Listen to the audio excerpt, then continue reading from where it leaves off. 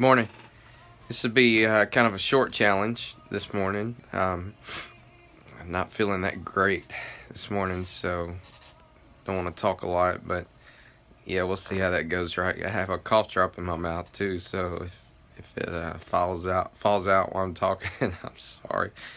Um, I want to uh, make sure you understand one thing before I get started. I, you know, when I do these challenges, it, it, it's not there are challenges for me as well, and I'm just sharing what what God puts on my heart. And a lot of times it's stuff He's He's you know sifting me through.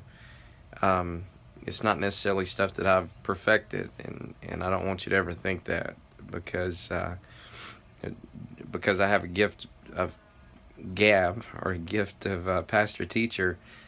Um, you know, I still I still go through thing, things just like all of you guys, and and I want you to understand that.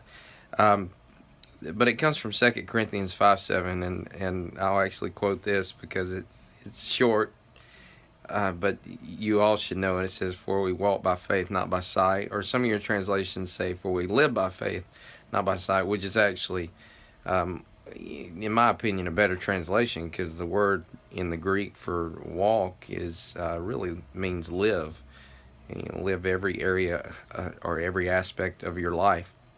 So, and and I'm going to use a analogy that my mentor, my pastor, my whole life, um, one of the greatest guys i will ever know, and um, that's Pastor Ron Adema.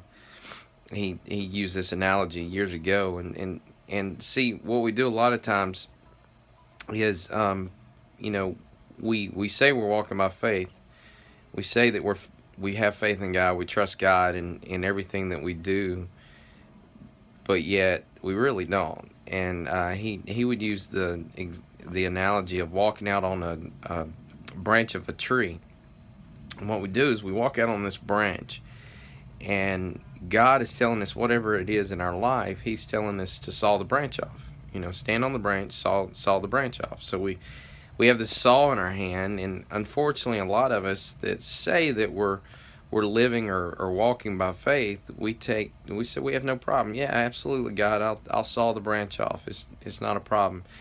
But we put the saw in our right hand, and when we put it in our right hand, um, we start sawing. And what we're doing really is with our left hand, we're holding on to the tree uh, out of fear.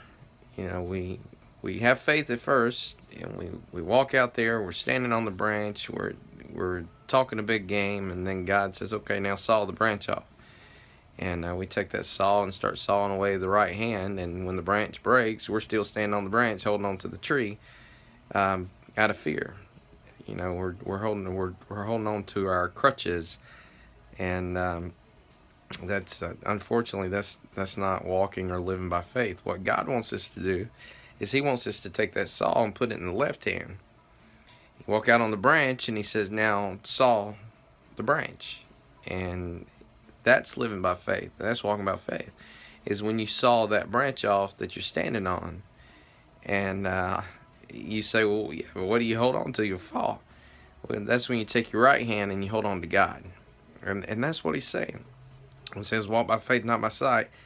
He's saying, step out on that branch and take the saw in the left hand and saw the branch, get it out of the way, get it out from under, empty yourself, let go.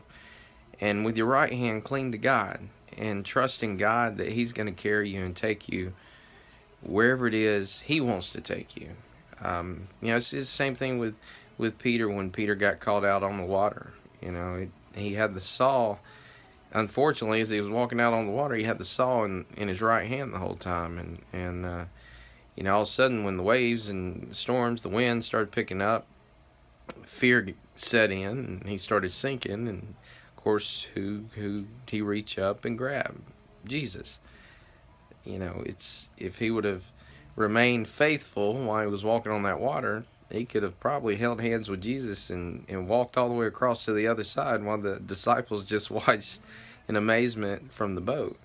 So my challenge is, you know, when you when you step out on that branch, just like Mr. Uh, Pastor Adema would tell you, take that saw, put it in your left hand, and if God says saw the branch off, saw the branch off, and with your right hand, hold on to Him, trust in Him fully, and uh, just go along for the ride. You know that's that's the Christian life. Is is we're along for the ride that He takes us on, not that we take ourselves on. Uh, you know, worldly thing, like I talked in my last challenge, worldly things that give you temporary happiness, but the ride and the things that God has for you is is eternal and is unbelievable. And and going through life, being able to just hold on to Him and and let Him take you, uh, you know, through tough times and through great great times is it's such a learning experience and and such a rewarding experience for eternity. And that's what it's all about. So this morning, step out on the branch, whatever it is in your life, finally let go step out on that branch, take the saw in the left hand and saw it off, and uh, cling to God. And I'm telling you, that will truly show you what it means to live or to walk by faith and not by sight. So I hope you have a wonderful day. Uh, it's Monday, I know, but uh, if you're listening to this, God gave you another day, and if He gives you another day, it's a day to glorify Him and uh, try to grow closer to Him and more like Christ. Um, have a wonderful week, and I'll see some of you real soon.